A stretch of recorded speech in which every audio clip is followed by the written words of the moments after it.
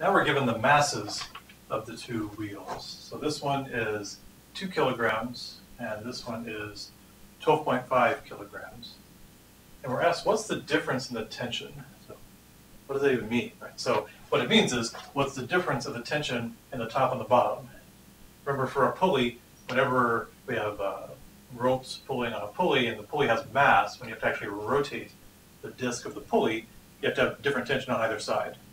Well, the same thing's happening here, is this disc has a mass, we're accelerating it, so the tension actually has to be different. So let's write T high over here and T low over here. And just to be clear, let's say it's going around, it's going to accelerate that way. It's speeding up as it goes around that way. So that's what it means. What's the difference T high minus T low? Um, another potentially confusing thing about this problem is which disk to work on to figure this out.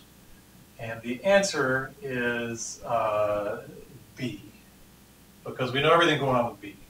It's just turning on this axis, so it's implied that there's some frictionless bearing there that it can turn around. A also has a motor driving it, right? So A is driven by a motor. We don't know what's going on with the motor. So that's why, in a, in a test, try to be more clear, you're supposed to solve this with disk B. Okay? Okay, so what's the difference in tension? Well, the tension is what is driving the motion. We know that T high is what's pulling it in the direction it actually accelerates. T low is actually pulling it the other way. Right? So the force, remember, is when, when a rope or a string comes off of a disc, it pulls tangential. Right? So that's the force of T high, and that's the force of T low, pulling on the disc. And you could say, oh, why isn't it accelerating? Well, there's a bearing here, it's not like a thing, and that's pushing it back this way. But since that's the axis of rotation, that's not applying a torque. What about gravity? Well, gravity's acting at the center. It's on the axis of rotation, it's not applying a torque. So the only thing that applies a torque in this situation is the belt. All right, so we just have to apply Newton's second law for rotation.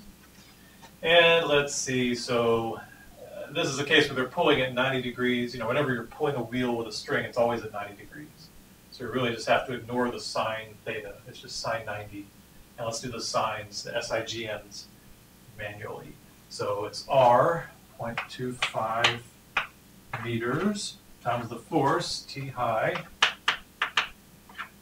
And that's positive because it's making it go counterclockwise, or counterclockwise.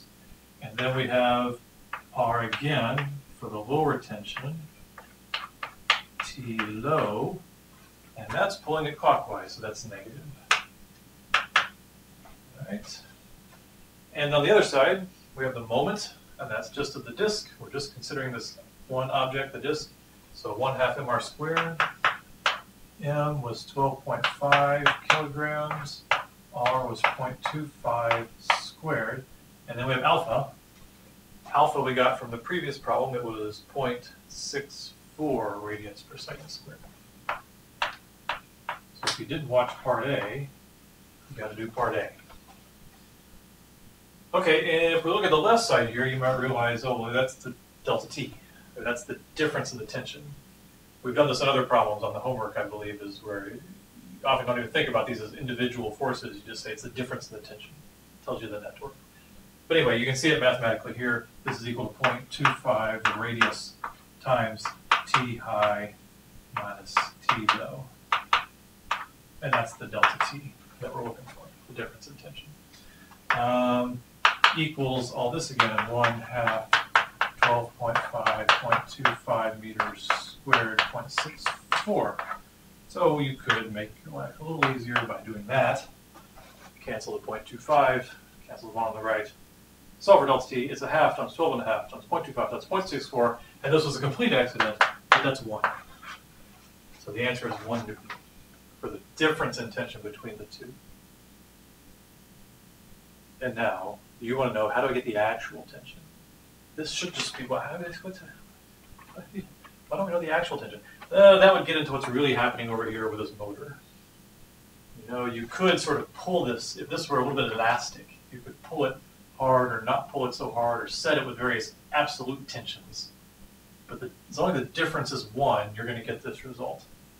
So it would depend a little bit on the forces pulling this thing apart, and then as you change the absolute tension, it would kind of change what the motor has to do. The absolute tension is, is a different problem. That's why we just asked for the difference in.